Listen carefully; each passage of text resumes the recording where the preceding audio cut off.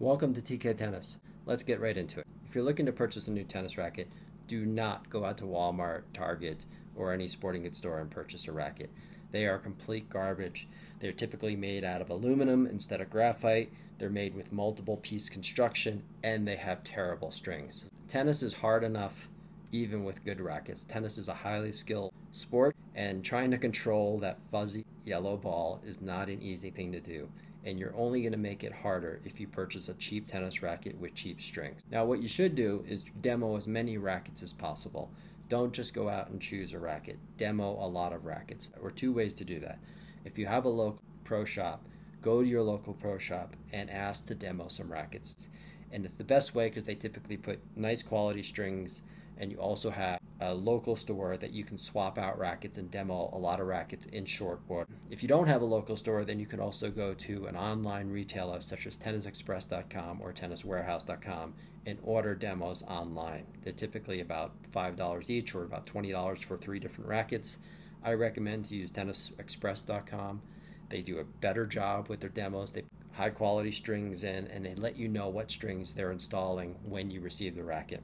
Tennis Warehouse has been known to put in some really cheap nylon strings, so I would avoid Tennis Warehouse for your demos. All right, now there's four fundamental things you need to know when you're choosing a racket, and this may take some time to figure out, but it's really important that you sort of note these things down as you're playing with different demos. The first one, as you can see here, is the string pattern. String patterns are typically uh, mains. You have the main strings right here, and then you have the cross strings. But when you talk about string pattern, you're really only talking about either 16 main strings or 18 main strings. 16 main strings have larger gaps between the cross strings and the main strings. And what that does allows the racket to put more spin on the ball. It has more bite into the ball, but it also launches the ball at a higher launch angle. If you have an 18 main pattern, right, uh, they typically have a little bit less spin and the trajectory is a little bit more direct. And that's total and that's a total preference. So when you're demoing rackets, you want to note whether that string pattern was 16 mains or 18 mains, and as you're playing, determine which pattern you prefer. The second thing is head size. Head sizes are typically measured in square inches. They come in 95 square inch head sizes, 98, 100, and then there are other variations 104, 107, etc. This is a 100 square inch head size. It's the most popular. Advanced players will use 100 very comfortably and also good for novice players. But the larger the head size, the more you're going towards the novice side. So if you're going to 104 or 107, they're typically for novice players or let's say uh, or older players.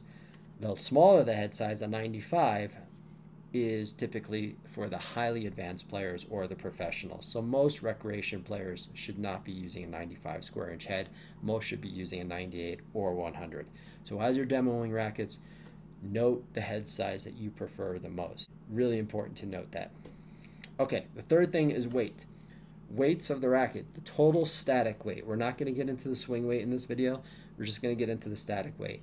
Let's call it light, medium, and heavy, even though there's variations in the range. Most light rackets are around 285 grams in total weight, and that's not including the strings. Strings add about 17 or 18 grams typically to the weight.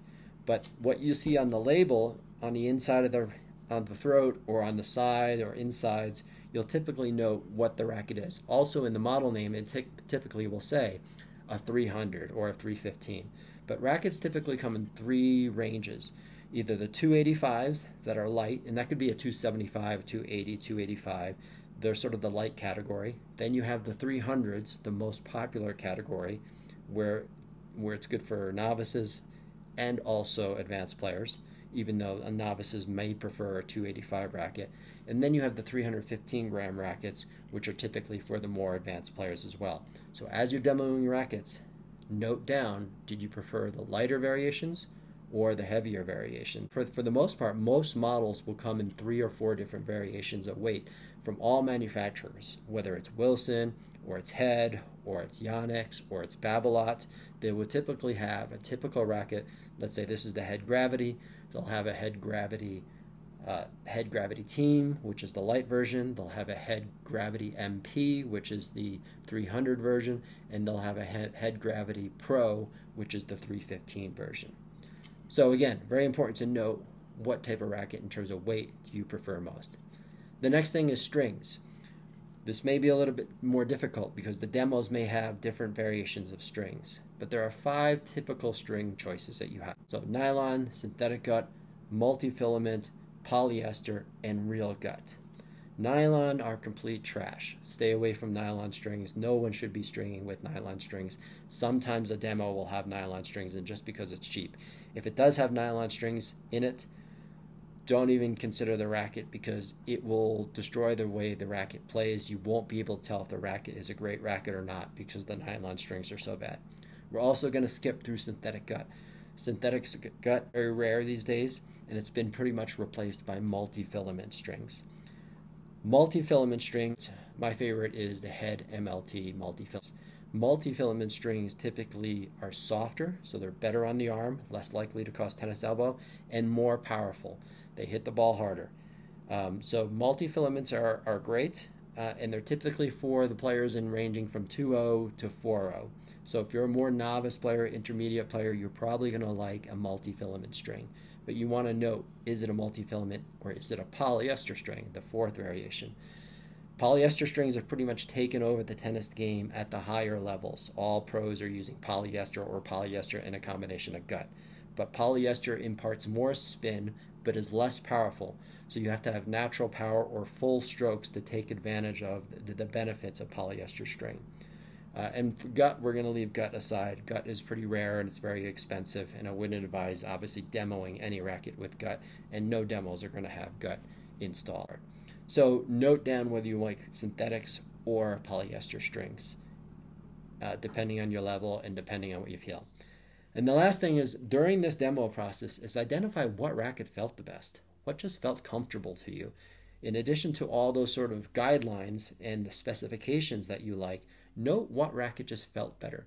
Some feel more solid, some feel a little less solid, some feel sound differently, some sound a little tingy, some sound a little bit more thumpy, um, some are a little bit thicker in the beams, and that's totally a personal preference. So you want to just feel what racket felt the best. That's really important. And if a certain racket felt great, then go back and also note those four different criteria. Well, what string pattern did it have? What was its weight? What type of strings did it have in it? And what was its head size? Because that'll that'll help you define what sort of your preferences are. So that's my buying guide for choosing a new racket. And if you haven't seen this video yet, I'll post it right here. The 90s Phenom video. It's a very inspirational video in my mind. Please check it out. I typically say help me get to a thousand subscribers, but I'm going to try and play the long game. Let's. I know I only have a few hundred subscribers right now, but I'm going to do the road to a 100,000 subscribers. So if you like this video, please like and subscribe, and I will see you in the next video.